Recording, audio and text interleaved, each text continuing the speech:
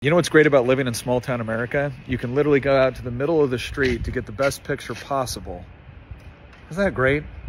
Culpeper, Virginia.